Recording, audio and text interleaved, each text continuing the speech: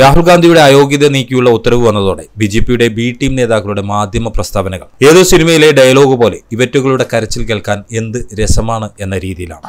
അദാനിയും മോദിയും ഒന്നിച്ചുള്ള ചിത്രം പാർലമെന്റിൽ പ്രദർശിപ്പിച്ച് രാഹുൽ ഗാന്ധി ചോദിച്ച ചോദ്യമുണ്ടല്ലോ. എവിടെ ഇരുപതിനായിരം കോടി എന്ന ആ ഒരൊറ്റ ചോദ്യമാണ് രാഹുൽ ഗാന്ധിയുടെ തലവര മാറ്റിയത്.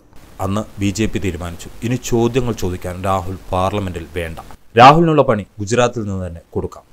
നിയമത്തെ വളച്ചൊടിച്ച് പണി കൊടുക്കാൻ പറ്റിയ സേഫ് സ്ഥലം ബി ജെ പിക്ക് വേറെയില്ലല്ലോ. ഉടൻ തന്നെ രാഹുലിനെ എങ്ങനെ പാർലമെന്റിൽ നിന്ന് പുറത്താക്കാമെന്ന ചർച്ചകൾ തുടങ്ങുന്നു. മൂന്ന് വർഷം മുൻപ് രാഹുലിനെതിരെ ഉന്നയിച്ച ആരോപണവുമായി ഗുജറാത്തിൽ നിന്ന് തന്നെയുള്ള മൂന്നാം തരം നേതാവിനെ ഏൽപ്പിക്കുന്നു. മാനനഷ്ടക്കേസ്. വിചാരണ ഗുജറാത്ത് കോടതിയിൽ.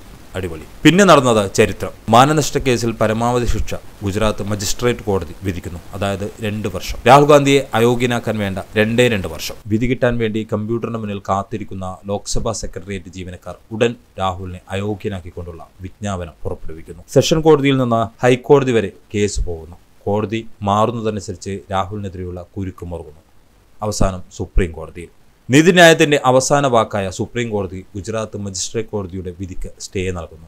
തടവ് ശിക്ഷാവിധി വന്ന മണിക്കൂറുകൾക്കകം രാഹുലിനെ അയോഗ്യനാക്കിയ ലോക്സഭാ സെക്രട്ടേറിയറ്റ് സ്റ്റേ വന്ന ദിവസങ്ങളായിട്ടും പല കാരണങ്ങൾ പറഞ്ഞ് രാഹുലിന്റെ യോഗ്യത അംഗീകരിച്ചുള്ള വിജ്ഞാപനം പുറപ്പെടുവിച്ചില്ല.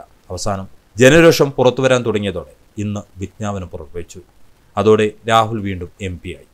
ഇനി വീണ്ടും അദാനിക്കെതിരെയുള്ള പോരാട്ടം രാഹുൽ പാർലമെന്റിൽ തുടരും. ഇതൊക്കെ വളരെ ദയനീയതയോടെ നോക്കിക്കാണുന്ന ബി ജെ പി നേതാക്കൾ സങ്കടം സഹിക്കാനാവാതെ ന്യായീകരണവുമായി മാധ്യമങ്ങൾക്ക് മുന്നിലെത്തിയിരിക്കുകയാണ് Supreme Court uh, stayed the conviction of Rahul Gandhi. This is a temporary relief until the final hearing takes place and the uh, matter is finally settled.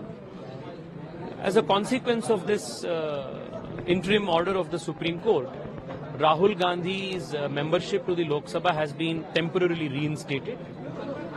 If the Supreme Court decides, uh, upholds the conviction of the Gujarat High Court, then naturally Rahul Gandhiji's membership will stand uh, cancelled one another time.